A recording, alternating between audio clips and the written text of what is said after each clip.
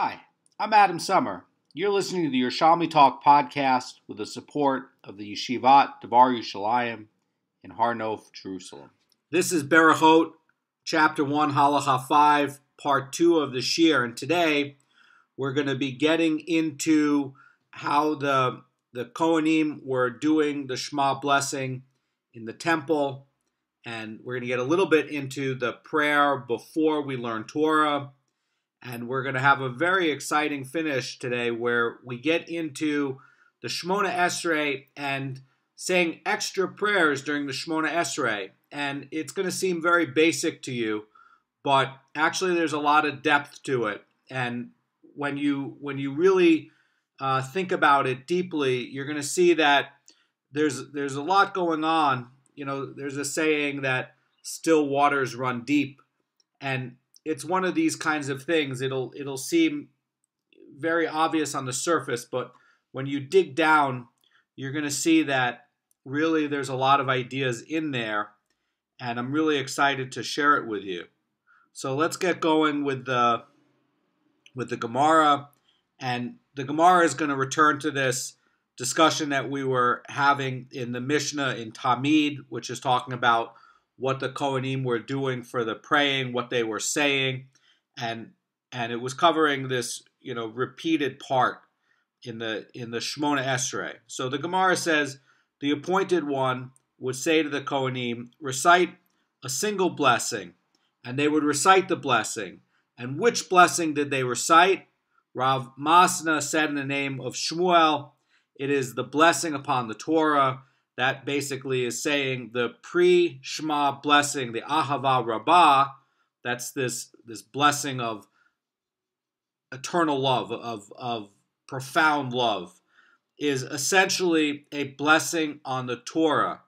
Now we were covering yesterday that hidden inside the Shema in order is actually the Ten Commandments. And it goes in order. It's not jumbled up it goes 1, 2, 3, 4, 5, 6, 7, 8, 9, 10 in order. And that's in the Shema when you say it.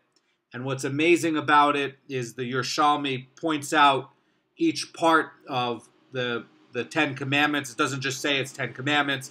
It actually walks you, it grabs your hand and and and makes you look and see, and walks you through it. And over here, they're doing another part where they're saying that you know before you learn Torah, that you say a pre a pre-learning blessing on the Torah.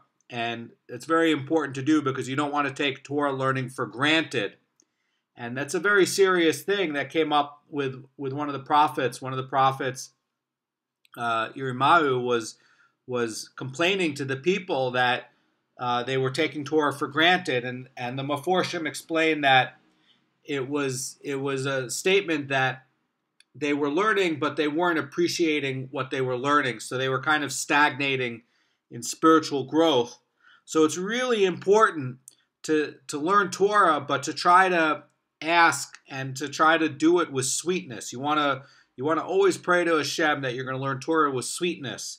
And in the morning bracha, when you when you you know after you you know wash your hands and after you put on your tzitzis, the morning bracha on learning Torah has a has a term for sweetness in there. So it's very important to try to do that. And they're basically saying here that before they said the Shema, implicit in there is a blessing for the Torah and learning the Torah. And that's a really key idea. Now, the Gemara is going to ask, but did they not recite the other pre Shema blessing, Yotzer Hamaros? In other words, that's the statement that you say in the morning that, you know, where it says, you know, who forms the lights? And that seems to be a good question. You know, how come these people, these Kohanim who are getting ready to do the morning service, are they saying that part of the Shema? And the Gemara is going to answer and says, Rabbi Shmuel, the brother of Rabbi Berechia, said, At the time that the Kohanim recited the Shema, the lights had not yet emerged, and there was insufficient light to recognize one's fellow, and and you say that they should recite the Yotzer Hamaros, the prayer for who forms the lights. So basically, they would it's basically saying they were not able to recite it at that early hour because how can they recite it because the lights didn't come out yet? So there's a lot going on here. You know, the Kohanim of the Mishmar, that's the you know the times of the of the service of the watches were split up, and you know they were serving in the temple and they'd recite the Shema before the main time for its recitation arrived. And one of the ideas about that is that is that um, they would just say the Ahava Rabbah, which is a statement of learning Torah, and the Shema at an early hour, and they would recite the blessing of of the you know the statement of who forms lights, and they would do that uh, only after enough light came out where it was relevant. In other words, if you're doing it too early where the lights didn't quite come out yet, and it doesn't make any sense because why are you blessing something that didn't happen astrologically yet?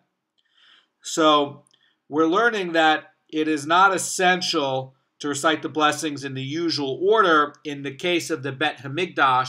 And why would that be?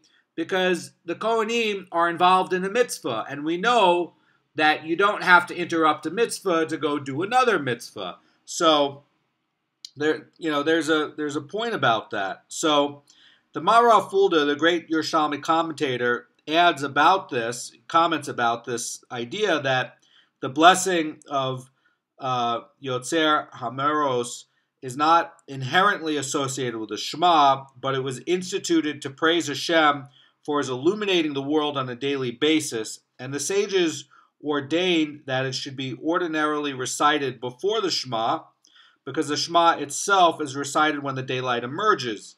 And since the Kohanim of the temple recited the Shema earlier than that, there's nothing wrong with the postponing of that blessing until later in the day. So um, there's another comment by the Maharal Fulda about this. He's saying that this is why Rish Lakish, when seeking to prove out that the blessings are not essential to the Shema recitation, inferred from this fact that the Kohanim were allowed to make an interruption between Ahava Rabbah and the Shema, and not from their omission of the Yotzer Hameros. So the omission is, says the Maharal Fulda, not remarkable since the time for that blessing did not yet arrive, and the blessing is not inherently associated with the Shema.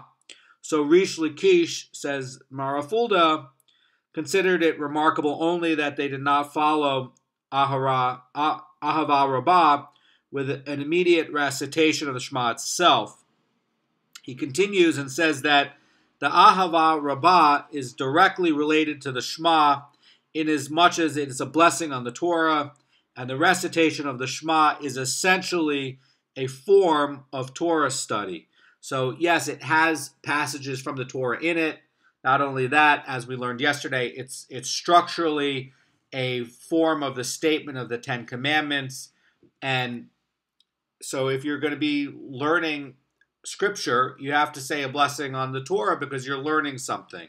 And because it's using, I mean, what Maharal Fulda is pointing out is that because you're using all these scriptural verses in there, for the for the statement after the Shema Israel part itself that you have to say something before because it's effectively learning Torah as well. It's not just a prayer, but you're also learning Torah, and you have to always be appreciative of Torah and of Torah study, and that's why you always want to say a statement like that.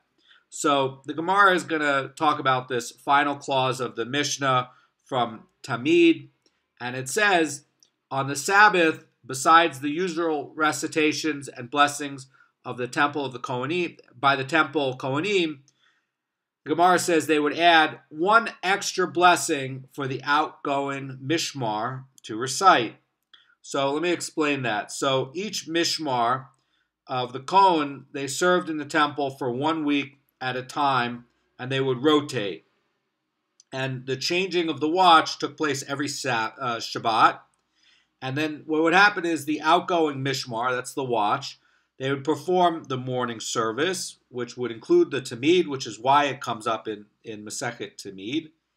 and then the Musaf offering and the incoming Mishmar would perform the afternoon services. So the uh, afternoon Tamid, uh, that's what the the the new um, the new Kohanim would do, and they would also do the offering of the two spoons of the of the levonah on the on the shulchan on the table. So, what would they say? What did they add to this extra blessing? And you're going to see something very beautiful, very deep, and something to inspire all of Am Yisrael. What did the sages institute that one Kohanim group of Kohanim who was leaving the watch and welcoming the next watch? They didn't just come in like robots, do their job, and leave. No, they instituted something to bring heart into into each person and to you know circumcise the heart and to make sure that we have a heart of flesh and also to inspire you and me. And what did they say? The gemara asked what is the extra blessing that the members of the outgoing mishmar would recite? And the gemara answers and says rabbi hilbo says it is the following. The outgoing Mishmar would say to the incoming Mishmar, May the one who dwells in this house plant among you brotherhood, love, peace, and friendship. Wow, what a blessing. That's really, really beautiful. And this blessing is really unlike others, and it's really, you know, a, a, a praise to Hashem and it's also a praise to have, you know, Ahavat Yisrael, brotherly love for Israel, and to help to, um, you know, to, to limit uh, jealousy because these people were in, uh, serving in the in the Bet Hamikdash, and now they don't get to anymore, and so maybe some people could feel a little bit of jealousy or maybe a little bit of sadness, and they instituted it in a way to make sure that when you're blessing your fellow you're doing it in a way where it's going to give you joy and happiness, and it's going to help to to give context in this transferring of the guards, so to speak. And and it's really you know trying to make sure that the people regard each other as brothers and that this structure and prayer is trying to do an expression of good wishes. And it's something that's beautiful and it's talking about love and peace and friendship. And it's something that you know we should try to internalize for ourselves when we're doing something where we're helping out or transferring something to a fellow Jew. We have to elevate our our the way we we manifest this and internalize it and see it where we're seeing the other person with with love and like a brother and and wishing them peace and friendship. And the Gemara is now going to talk about this uh, ruling for for Ahava Rabbah, this this this statement of love in Torah, and Shmuel says in the Gemara concerning one who rises early in the morning to study Torah, if he studies before his recitation of the Shema, he must recite the blessings upon study of Torah. And the Gemara continues and says, but if only after, but if he studies only after his recitation of the Shema, he need not recite the blessings upon the study of Torah because he has exempted himself through the recitation of the Ahava Rabbah. In other words, what, what this is saying is this is saying that, look, if, you know, we have a commandment that we have to engross ourselves in the words of Torah, okay? And we also have a statement that, you know, Hashem uh, selected us from all the peoples and gave us Torah. You know, the, the, the rest of the nations don't have mitzvot. The rest of these mitzvot, the rest of the nations don't have this kind of holiness. They have a kind of holiness, but it's smaller. They don't have this. And they don't have Torah and Torah learning. And and so there's an idea that we have to we have to safeguard the Torah, we have to safeguard the teachings of the Torah. And what better way to safeguard it than to put on a regular blessing before you learn the Torah.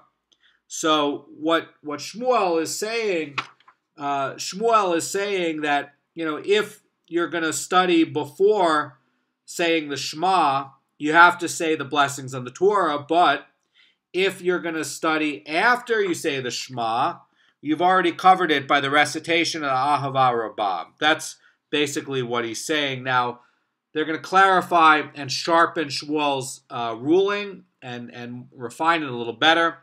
And Rabbi Ba said this applies only if he studies Torah immediately. So, what, what this is saying, this is basically saying, says the Haredim, that since the Ahava Rabbah was instituted primarily as the blessing for the Shema rather than for general Torah study, it can be relied upon as a blessing for Torah only if one actually follows it with Torah study. By contrast, one who utters a regular blessing upon Torah discharges his obligation to make these blessings even if he's unable to study Torah until much day later in the day. So that's a that's a key point. In other words, they're saying that if you're early in the morning and you're stu- going to study Torah and you say the Shema first, and then you open the book and you start learning, you've covered it. But if you're not doing that, and then you have to go out, you have to get your coffee, you have to go get your groceries, you have to go get your eggs for breakfast, you have to get this, you have to get something for your wife, for your kids, and then, you know, a few hours later you're coming to learn. Now you got to go say the regular blessing on learning Torah. But in some cases, the Ahava Rabbah will cover it, which is a beautiful idea and a beautiful thing. So now we're talking about these blessings on the Torah, and the, the Gemara is going to give a lot of opinions about which portions of the Torah recite you need these blessings. In other words, which are going to be these portions of the Torah that you have to say the blessing before the Torah study. So they want to clarify that. They're going to say, okay, you got to say a blessing before Torah study. But now they're going to answer and say, well, what counts as Torah study? Does this count? Does that count? So let's get into it. Rabbi Huna said, it seems most reasonable that when one studies expositions of Scripture, he is required to recite the blessings upon the Torah. So, expositions of, of Scripture, I mean, that's literally, you know, we're, we're reading, um, you know, pieces of the Torah. And that's basically what the, all the statement after Shema is.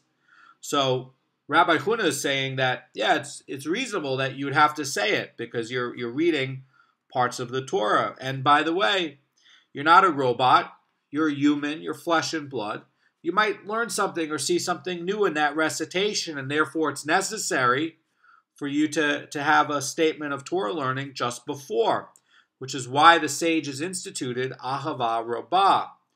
Now, keep in mind, the sages have the ability to put up a fence, and we are always required to safeguard the Torah and to perform the, the, the you know, to perform uh, acts to try to, you know, teach Torah and fulfill the words of Torah. And so it makes sense that they could put up a fence to help to safeguard, you know, Torah and and and to give kavod to Torah learning. So so he says, Rav Huna says it seems most reasonable that when one studies expositions of scripture, he is required to recite a blessing on the Torah. That seems to make a lot of sense. But then he says, but when one studies oral laws, he is not required to recite a blessing. Now that seems to be a very big chiddush. Now that is gonna is uh, let let's talk about that. So the Mara Fulda, because it's a it's a shocking statement. The Mara Fulda is going to say like this. He's going to say that the term uh, about expositions is going to re- refer to scriptural expositions of a halachic nature, like those found in the Mechilta or the Sifra or the the Sifre, and um, these uh, sorts of, of midrashim, by the way, shouldn't be confused with other collections talking about stories that you have in like Midrash Tanhuma or Midrash Rabbah, when you're learning the Mechilta or the Sifra, for example, it's talking about more halakhic things, and the other ones are more story oriented or helping you to understand the mikra better. So it's a little bit different. The tool, it's different tools in the toolbox, basically.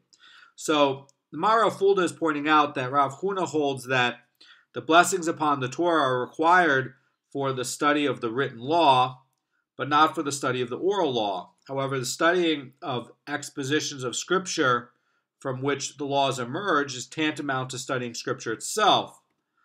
Therefore, this study must be preceded by blessings upon the Torah.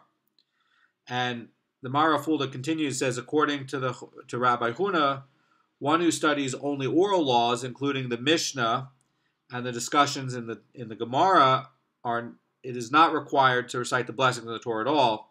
So what Mara Fulda says is he's speaking even of one who did not yet recite the blessing of Ahava Rabbah. Okay, so there's going to be a dissenting opinion, obviously, and Rabbi Shimon said in the name of Rabbi Yeshua ben Levi, whether one studies expositions of scripture or oral law, he is required to recite the blessings of the Torah. Now, I'm not saying that Rav Huna is wrong here. I'm saying that perhaps uh, Rav Huna is um, is is talking about a different a different thing about the oral law. In other words, he's saying that you know perhaps all of this takes place and before uh, even the light comes up. So perhaps you could say that you know he's still getting credit from the earlier day or something like that. So I'm not saying that he's he's necessarily wrong, and perhaps you know if he's if he's you know studying oral law uh, before all of that, perhaps it wouldn't count because it's like you know saying the Shema up until that light. Now that would be a deraita thing, not necessarily a derabanan thing, but perhaps what you know he's talking about is he's saying like, look, you're already getting credit from an earlier day, so rather than just say he's right, he's wrong, he's right, he's wrong, and these drama things, there there might be more subtle things coming up, and perhaps what Rabbi Shimon and Rabbi Yeshua ben Levi are talking about is something that you know is what you can recognize as the next day, and so perhaps Rabbi Huna is talking about something that that might be on a different part of the day. It's just a guess. Um, I prefer to find another way to uh, try to reason with it or or explain it rather than just say that uh, this one is just stom wrong. It's just flat wrong. There might be a uh, this might be in here also to teach us something about um, other parts and nuance of, of these laws. That's that's very common uh, in the Gemara. So, in talking about the the part by Rabbi, Rabbi Yeshua ben Levi, the oral law is a discussion of the law, and the the Gemara it debates uh, practical Torah, and it's also explaining the Mikra in the Torah itself. So the Gemara and the Talmud is an essential part of learning, and the oral law is an essential part of the Torah. It, it is the Torah, and you can't you can't just do you know quote unquote you know Bible Judaism you know like like some people would imagine. Um, there's no such thing as quote unquote you know Bible Judaism. It's mistaken. It's wrong. Uh, it's it's based on you know ignorance and no learning. It's impossible to do. You know the Gemara. I'm sorry. The the Torah will issue certain commandments and it'll say, oh, you know, on the eighth day you cut the orlah of the baby. Well, where is that? Is that you know, a lock of your hair? Is that the earlobe? You know, is that a fingernail? What what is the oral law? So you can't put it together without the the oral law. It is the Torah. They're both the Torah. So the the part about what Rabbi Yeshua ben Levi is saying is that is that um, is that um, you know he's saying that your your you're citing where you're saying the the scripture and you're citing where you're saying also these these rules in the Gemara and um, the the uh, I want to I want to look at what the Rashi is saying here in Bavli in in uh, Berachot page 11 uh, 11b. He's saying that there's four opinions on this matter.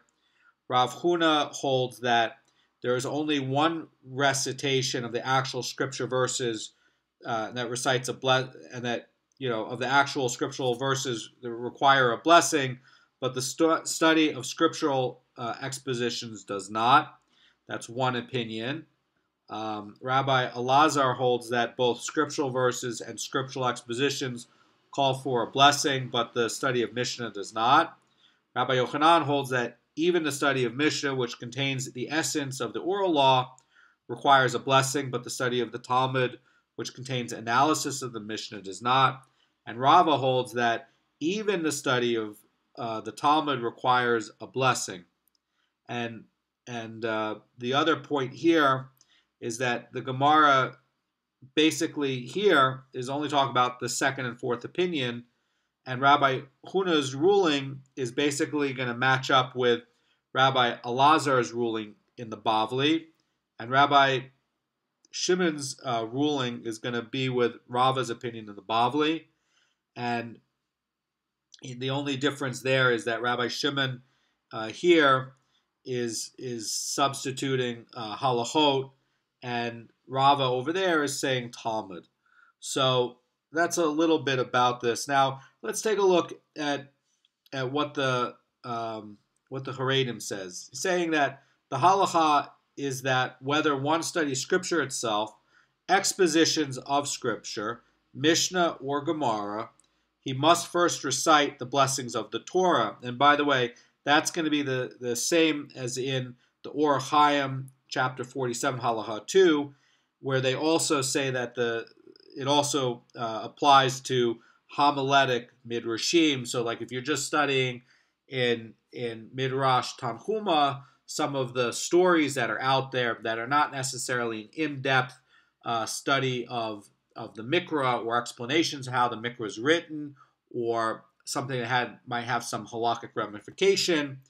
They're saying that just these sorts of stories uh, that are like uh, homilies that that um, that you also need to to to make a blessing on that says the Orach Chaim. So there's um, so that that's going to be what the law is today, and that you know basically anything that you're doing on any subject or any topic uh, topic you're you're going to be uh, you're going to be uh, doing that.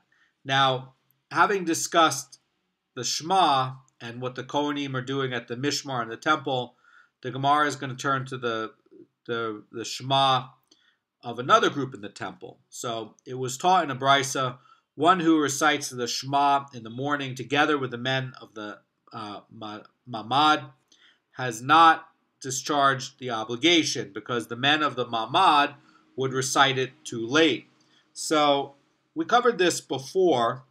The the the people in the Mishmar they would recite the Shema earlier, okay, earlier than than uh, before because you know they're they're basically involved in you know getting ready to do a mitzvah and you know, they might not have another chance later in the day to say the Shema.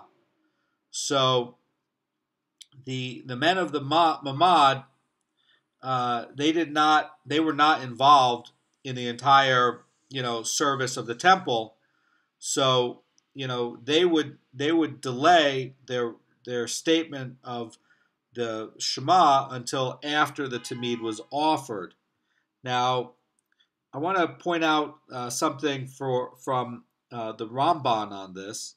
The Ramban, uh, in in talking about his his uh, his his note in um, in in Bavli 8b of Berachot, the Ramban says like this, but the parallel idea is here as well.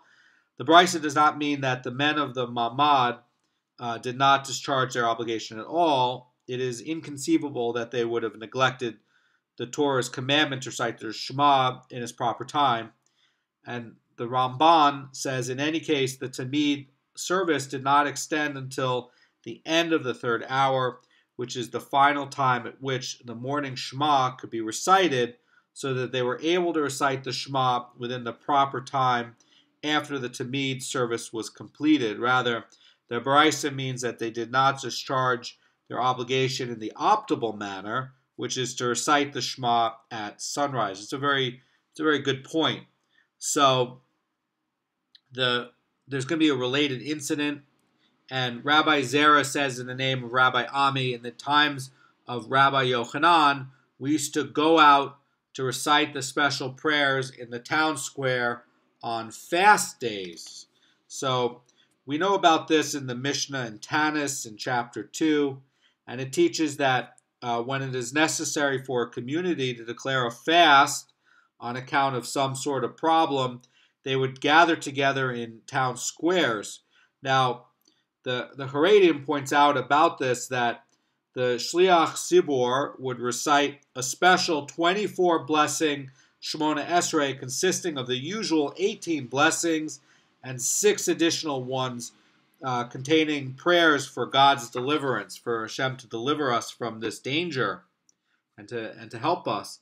And the Gemara continues and says, And we would recite the Shema after the first three hours of the day had passed, when the time for its recitation was already over, and Rabbi Yochanan did not protest this practice. So the the Haredim says about this that um, the reason that the people actually recited the Shema privately, uh, that you had the people that they would recite the Shema privately before they gathered in the town square. So they discharged their obligation in the, in, in the right time, but they repeated the Shema uh, in the community only for the sake of pres- uh, prefacing their, fa- their prayer with a recitation of the Torah passage. So, in truth, there could still be room to object for the to object to this practice, since unlearned people could have inferred mistakenly that it was acceptable to recite the morning Shema at that late hour. And the Haredim points out that Rabbi Yochanan actually dismissed this concern and allowed the practice to proceed. Many times in the Gemara, um, they're going to reject something if if the community that's there uh, is filled with unlearned people, or the community doesn't really have Torah scholars who can guide the community. Then it's very easy for the people to get mixed up because they don't know the laws and they don't know how to protect the ordinances and so uh, a lot of times they won't allow that. But perhaps Rabbi Yochanan did not protest the practice because uh, in this place where they were, there were a lot of Torah scholars that were there so that people wouldn't get confused. So that's something to keep in mind that, you know, it, it's, it's about context and it's about who's asking the question.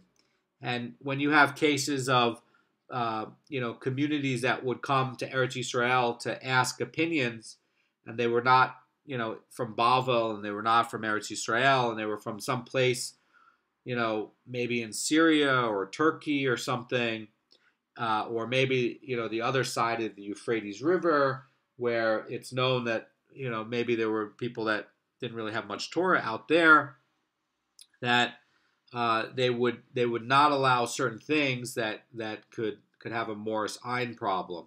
It's very important to pay attention to Maris Ayin because you don't want to mislead people. You're not allowed to mislead people, and you know you have to be careful if you're around people that are that are not learned about Torah. You have to be very careful about your observance. You have to be very careful to guard your eyes. You have to be very careful in how you speak to these people and how you represent Judaism because you might mislead them and, and change their practice and they, they might get the wrong opinion out of ignorance. So you have to be very careful. So there's another story in this same sort of approach. And Rabbi Yossi and Rabbi Acha once went out to recite the special prayer in the town square on a fast day. And the congregation came and recited the Shema after the first three hours of the day had passed. And Rav Acha wanted to protest that practice. And Rabbi Yossi said to him, But they already recited the Shema in its proper time. And the Gemara says, uh, Do they recite it now for any reason except to stand in prayer upon having been occupied with the Torah passage? And basically, it's saying, you know, why should you object to this practice? In other words, they're they're saying that that you know why should you object? And Rav Acha replied and says, It is because of the concern of error by simple, unlearned folk who might not realize the reason for the current recitation of the Shema. And he's basically saying that the practice must be stopped. And the Gemara says, so that they should not say that the congregation is actually reciting the Shema in its proper time, which would basically confuse them and lead them to the wrong conclusion that you're allowed to say the Shema at a time of a very late hour. So again, how you're practicing as a religious Jew um, is is very important. Uh, but you know, again, the other thing that Rabbi Yossi is taking into a, into account is that you know they must be in an area where there's enough learned people and Torah scholars so that they can they can correct or guide any mistaken ideas. Now, Rav Acha would be 100% right if they were living at this time in one of the you know far off communities like in Turkey or something, then yeah, you know, they wouldn't be allowing this because, you know, there's no there's no Torah scholars up there. There's no Torah scholars, you know, up in the Lebanon and, and Tarsus and these sorts of areas at this time. There's no, you know, it's just a bunch of Hellenized Jews or it's just a bunch of people that are out there for business and they're very disconnected to Judaism. And, you know, they're going to get the wrong idea. So in one case, Rabbi Yossi is right. And in another case, Rabbi Acha's right. But the answer is it depends. Depends on the context. But for you and for me, what we have to get out of it is we have to get out that, hey, you know, if you're going to Tel Aviv and you're going to be doing something that, you know, only a real Torah scholar would understand how something is, but, you know, it could be misunderstood, you're not going to be allowed to do it because there's not enough Torah scholars, unfortunately, in a city like that to, to correct the people. Um, in a place where there's a lot of Torah scholars, like in Jerusalem, you'd be allowed to do it as long as you weren't allowed you weren't, you know, around unlearned people, or that the people that were there had access to, to Torah scholars in their community. I don't know what this, you know, other uh, thing would be. I'm just giving you an example as a principle. So the Mishnah states, in a place where the sages said uh, to make a lengthy blessing, one may not recite a brief one. Now, we're going to get into a very beautiful um, idea coming up about the Shemona Esrei and adding your blessings to it. And this is really a basic idea, but actually ends up being uh, very profound and and have a lot of depth to it. So we're talking about in a place that the sages said to make a lengthy blessing, one may not recite a brief one. And the Gemara is now going to give, um, you know, Uh, talk about you know relative lengths of different blessings. So Gemara says, which are the blessings in which we are permitted to recite a more lengthy text than that which the sages composed? The blessings of the Shemona Esrei of Rosh Hashanah and Yom Kippur, and the blessings that the leader of the community adds to the Shemona Esrei on the fast day, and from a person's uh, personal recitation of blessings, it can be discerned whether he is a Torah scholar or an ignorant person in, in ignoramus, which are the blessings. So now it asks, it says, which are the blessings in which we are required to preserve the brief text that the sages composed? And the, the law applies to one who recites the blessings upon mitzvot or upon other foods, and to the blessings of the Zimun, and to the final blessing of the Birkat Hamazon following a meal. So let's start to unpack this and, and get into it. Now, this brisa uh, also appears in the Tosefta in chapter 1, uh, halacha 8, but uh, the sequence of the clause is a little bit different. Uh, anyway, so in here's what the Haredim says about this. He says that the lengthy blessings of the Musaf prayer of Rosh Hashanah were also recited at Musaf on Yom Kippur of the Yovel year, And this is the blessing of Yom Kippur to which the Brisa refers. And one is permitted to add to the text of these blessings by inserting additional verses over and above the 10 verses that are basic to each blessing. And that's what the Haredim is implying about this. There's other people like the Maharil Fulda who are saying that this Brisa is referring to all the blessings of Rosh Hashanah and Yom Kippur, and and the meaning on it is that you know on those days we insert uh, supplications of remember us for life, and and and um, the so that's one way uh, to look at which are these extra blessings. Now keep in mind the the blessings in the Shemona Esrei were composed by the the men the great men of the assembly. These are the people who came back with Ezra, and you know there was many prophets who helped to compose it, and also the other blessings are ancient as well, and some of them have some texts that were uh, modified by the sages, but um, the we're gonna we're gonna point out you know which part is which. So um, so the the Maharil Fulda says about this that the uh, that on fast days it was customary for the Shliach Tzibor to add six blessings to the Shemona Esrei prayer, and he inserted them after the blessing of Redeemer of Israel. And nowadays, on fast days, the Chazan inserts one additional blessing after Answer Us, uh, after Redeemer of Israel. So uh, that's you can see there. That's going to be a change for what happened nowadays by the by the sages from what was before, and that uh, there's a basic text for each of these six blessings, which is each going to be very lengthy. You can see more about that in Masechet Tanis in chapter two, and that's going to be in Halacha two, and and the the Brisa is going to be teaching that uh, you know the Shliach Tzibor is permitted to to further lengthen a text by inserting any of the appropriate uh, prayers. Now, the Rambam has a lot of explanation about this sort of flexibility about adding to the prayers in Hilchos Tanios in chapter 4, Halacha 5. And so you have a lot of things going on here with the prayers. Some of the prayers are with Ezra and the prophets. That's in the Shemona Esrei. You have some that were from an earlier time from the sages, and you can find that in Tanis. And you can find some of the changes that happened uh, later on that is for a, uh, a more modern uh, situation of Eretz Yisrael.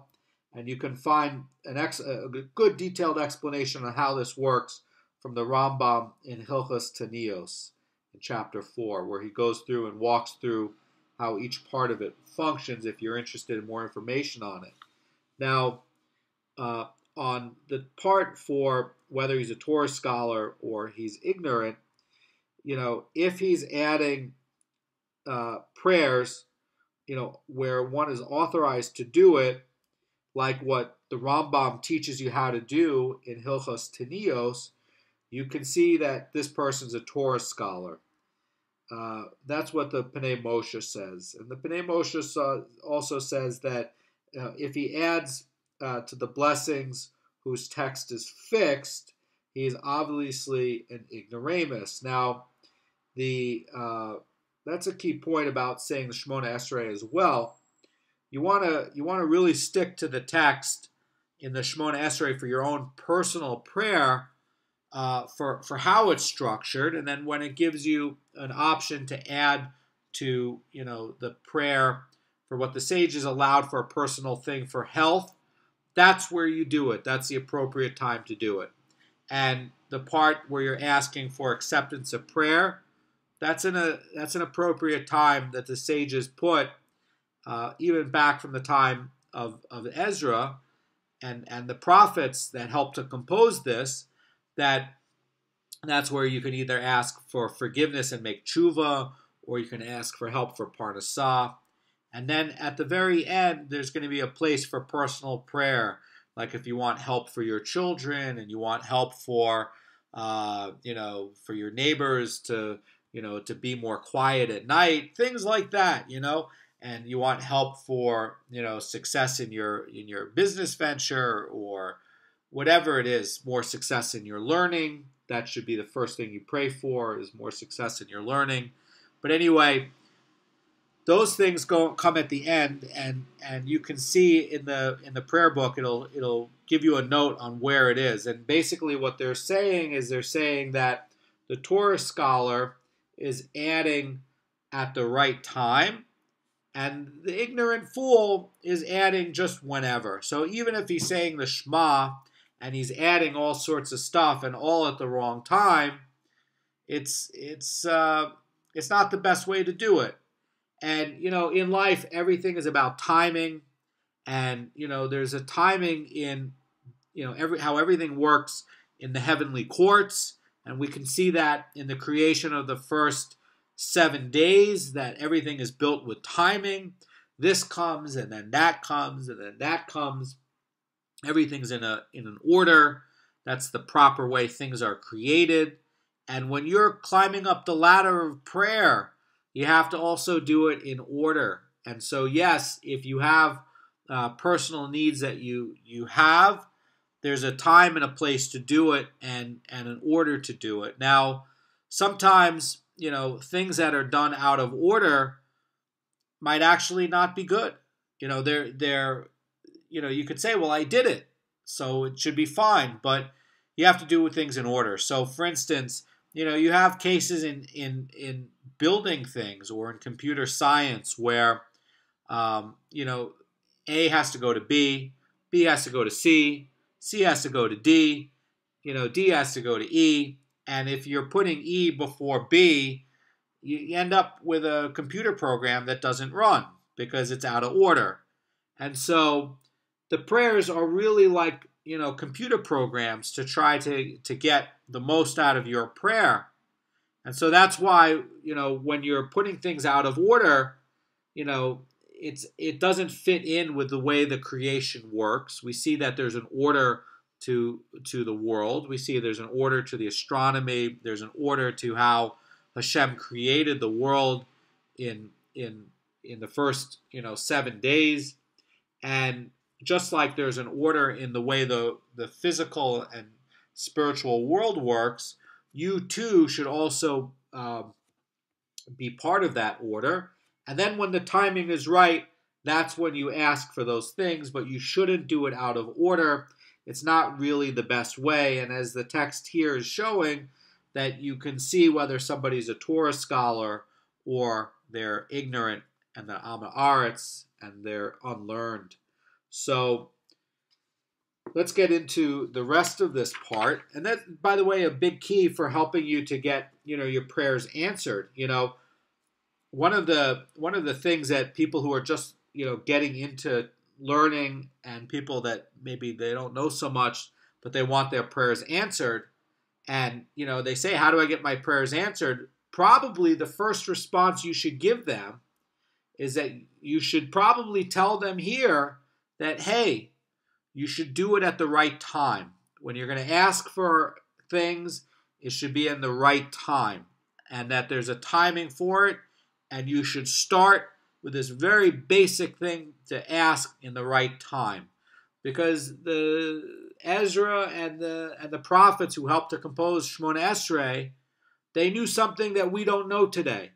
And they knew how how the heavens worked, and they knew how you know, things would work with Hashem, with accepting prayer, and they they had special insight that we don't have today.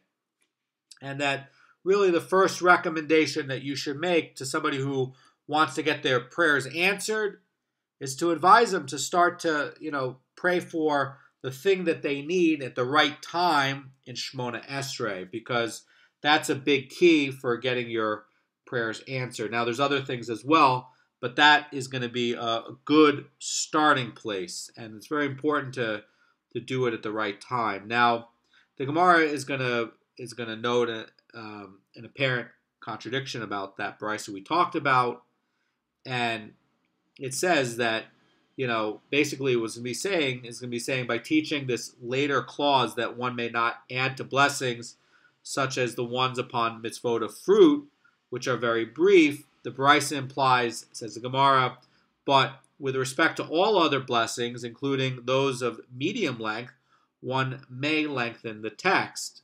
So this is talking about a very short one for blessing the fruit. Uh, again, the Shemona Esrei uh, is not included in what the Gemara is talking about now. The Shemona Esrei, you should pray pray for the things at the right time in the structure of the Shemona Esrei, and that's where you can lengthen your your prayer. Anyway, so those of medium text, says Gemara, one may lengthen the text. Uh, yet by teaching in the first clause that one may add to blessings such as those of Rosh Hashanah and, and Yom Kippur, which are already very lengthy, and implies, uh, it, you know, it implies uh, uh, with respect to the other blessings, uh, those of medium length that one may not add to the text. So regarding the matter of adding to a blessing of medium length, the Brisa seems to be contradictory. That's basically what the, the Haredim is saying about this, this part of the Gemara. He's saying that, uh, you know, as mentioned, the blessings of Shemona Esrei are examples of medium length. So, you know, medium length, you're allowed to add to it, but you got to do it at the right time. And you could try to rephrase the Gemara says the Marafulda says the Marafulda uh, that the Gemara's question is as follows.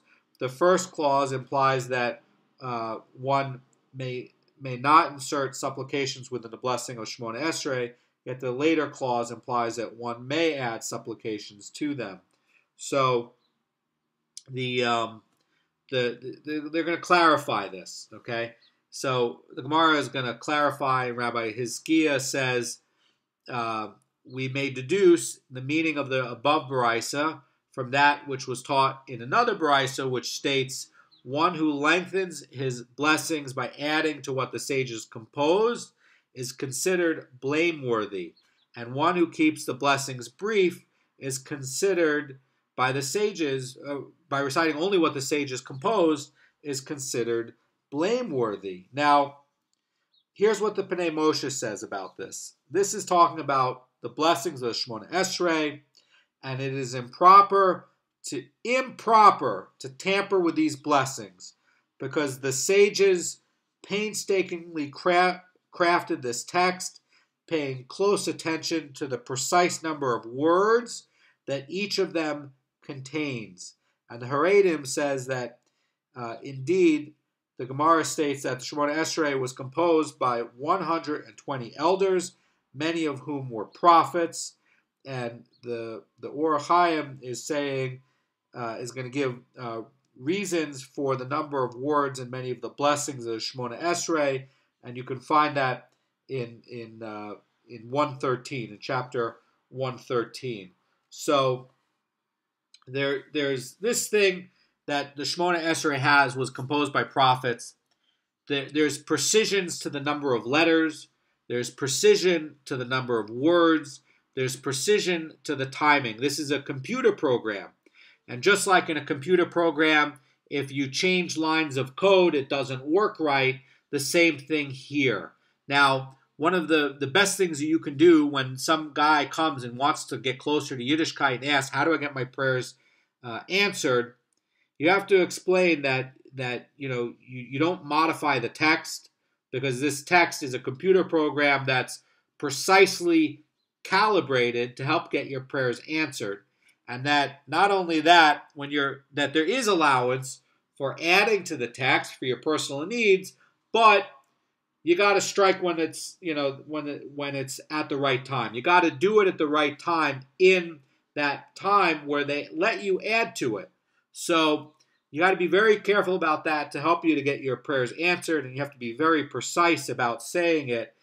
Uh, by the way, there's going to be something that comes up later on in Berachot in the Yerushalmi. It's in the Yerushalmi, not in the Bavli, but it's going to talk about things to concentrate on in the Shemona Esrei prayer and how to recite it in a way where you have a better chance to get your prayers answered. So reciting the words clearly with with kavana and intent at the right time is also a very critical part to doing it. So really, this is talking about somebody who is um, who is saying the words and not modifying it, and the person who is you know the sages would compare to be blameworthy is somebody who is lengthening. In other words, he's taking uh, part about holiness in the Shemona Esrei and he's adding his own stuff to it. So that would be somebody who's very foolish. And again, you're tampering with a computer program, and you're you know you're not going to get the results out of it when you play around with it because you don't know what you're doing. This was calibrated by prophets and, and Ezra and the sages, and they had special insight that, that we don't have today. That's why you have to follow it. But you do have a place where you can add your own personal thing, but you have to do it at the right time and you have to pay attention to that. Now, there's going to be a, a related brisa, and that uh, it was taught, says the brisa, the emissary of the congregation who leads the communal prayer is recited to lengthen the Redeemer of Israel on a fast day by adding a supplication to it.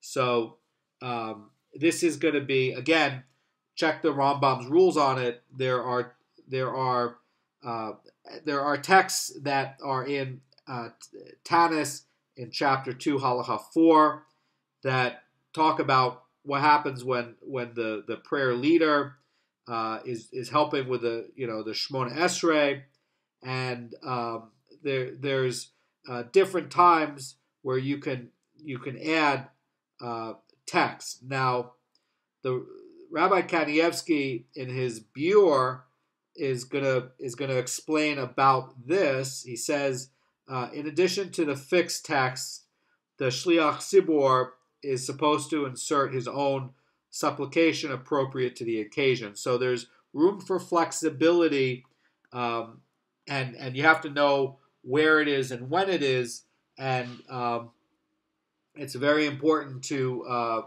to study the Rambam. If you have question about it, you know, study the Rambam uh, on on on uh, Hilchos Tanios, chapter four, and it'll it'll help to walk through um, the timing of of each of this. Now, the Gemara is going to wonder why the Brisa speaks of adding specifically to this blessing. What about the other ones? And you know, the Gemara is going to ask, does this mean that you know, but you know, in the six special blessings that he adds to Shemona Esrei on a fast day after the Redeemer of Israel blessing, uh, he does not lengthen the text. Surely he's lengthening the text in these blessings as well. That's basically what it's implying. And um, the Haredim explains about this that the Mishnah in Tanis in chapter 2 lists the texts of the six added to the blessings, and it is surely appropriate for the Shliach Tzibor to add his own supplications to these texts, since the whole point of the special fast day is to petition for Hashem's mercy, and these blessings constitute the heart of that prayer. So that's an insight. The Gemara is going to answer, and Rabbi Yosa says actually he adds to all of these blessings, but it was necessary for the Tana to teach specifically that he adds to the Redeemer of Israel blessing in order to ensure that you do not say that since this blessing in is is in essence one of the regular Shemona Esrei blessings, the emissary of the congregation should not lengthen it on a fast day, just as one does not lengthen the regular Shemona Esrei blessings at other times. Therefore, the Tana needs to tell us that he is required to lengthen the Redeemer of Israel blessing on a fast day. So the reason why you know you say, oh, why are we talking about this? What you know, why are we talking about a fast day blessing? And so what the what Rabbi Yosa is explaining is that you need to be talking about this lengthening here for the fast day blessing to contrast it to the regular Shmona Esrei prayer, which you do not lengthen at other times. So you have some lengthening that goes on uh, at this one time. But what it's trying to point out is that in normal times, you don't modify the Shmona Esrei text, you leave it alone. this is what it is. And, and only in the time of the fast day, and again, you can check the Rambam for the rules on it for the modern day, if you're going to be doing that. Um, the Rambam is going to walk you through how it works for the modern day and, and, and how to do it. But the basic rule here is on the you know on a on a different time you don't you don't change the Shemona Esrei prayer. Now I want to get into one last topic that has a lot of depth to it, and then we'll call it for the day. So, which of the blessings of the Shemona Esrei, you know, are there, says the Gemara, during which one bows? And in recitation of the first blessing, one bows both at the beginning and end of the blessing, and at Modim, where we thank you, and one bows both at the beginning and end of the blessing. And regarding one who bows upon the recitation of the beginning and the end of each of the blessings, we teach them that he should not bow except at all the places indicated. Now, um, you can get more clarification about this in the Shulchan Aruch and also in the Orach Chaim in in Halacha uh, 113, Se'if 1. And basically, um, we do not allow somebody to, to bow at the beginning or the end of uh, any other blessing uh, because um, you're going to have other people that are going to notice and they're going to get the impression that bowing uh, during uh, Shmona Esrei, if it's done you know at the wrong parts, that you can get that it could be voluntary and then you could um, come to do it all at the wrong time. And, you know, the uh, points out about this that bowing more than the required number of times is ignorant, is arrogant. It seems to be it's is a very arrogant thing, and so you know we're coming, says the Haredim, to uh, to Hashem, and we have to be more exalted and we have to behave ourselves and we have to humble ourselves before Hashem.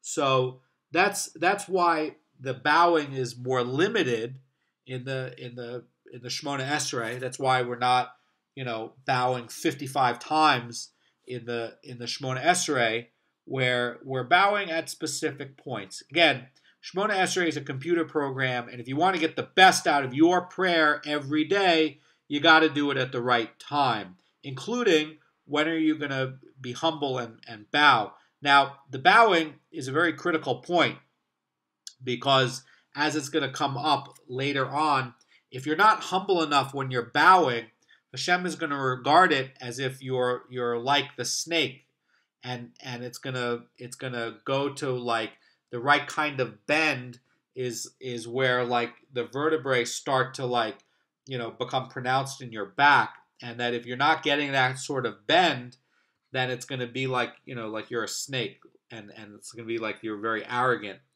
and it's not a good uh, it's not a good way when you're asking the king of everything to uh, to help you. It's not really a it's not really a good way to get help. So the Gemara is going to talk about a couple of exceptions of the rule, and uh, again, this is going to be talking about uh, for special cases, like with a Kohen Gadol or king, and it's also going to be talking about um, a, a, very a very special uh, person who had special insight that that we don't have today.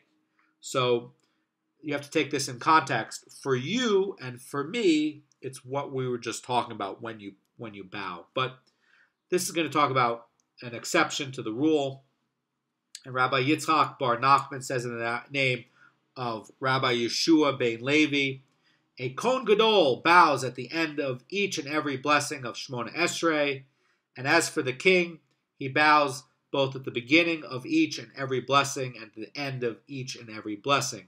Okay, but that's not for anyone else. That's just for the king, and that's just for the Kohen Gadol. And so it's important that, you know, where we're pointing out that these are people that are, you know, more at a higher level, and you know, you know, they have to be more humble, and so that's why you know the king has to do it at each part But if you try to do it, you're you're an ignorant fool who's very arrogant. It's not it's not the right way to behave yourself. You have to you have to behave yourself in the right way, especially if you're going to ask for Hashem for help. And you know what? The sages gave you the tools to do it, and you can do it, and you can get your prayers answered. And one of the key parts about it is is is saying everything with the right timing and in the context of how the sages put it together to help you. Now, there's another version of Rabbi Yeshua ben Levi's opinion, and Rabbi Simon said in the name of Rabbi Yeshua ben Levi, the king, once having bowed at the beginning of the Shemona Esrei prayer, does not straighten up until he has concluded the entire Shemona Esrei prayer. And what is the basis of this assertion?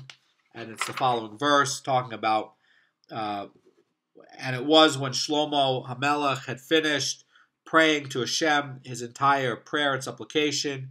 He stood up from having knelt on his knees before the altar of Hashem.